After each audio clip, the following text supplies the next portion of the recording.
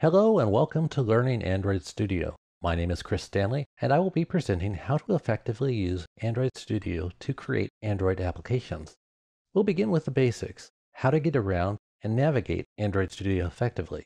We'll get comfortable with using the interface. Later, we'll progress through some more practical and complex issues such as debugging and optimizing our code.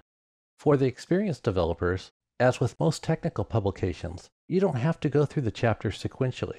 You can address the chapters as they pertain to your needs. But if you're not familiar with Android Studio at all, or are just learning Android development, you may wish to go in sequence. I hope that you enjoy these chapters, and I hope that you find them useful.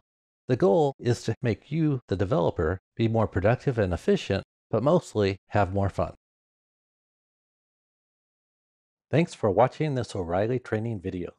If you'd like more information on this topic, click on Learn More. Don't forget to subscribe to the O'Reilly Video Training YouTube channel for more tutorials. And be sure to like us on Facebook.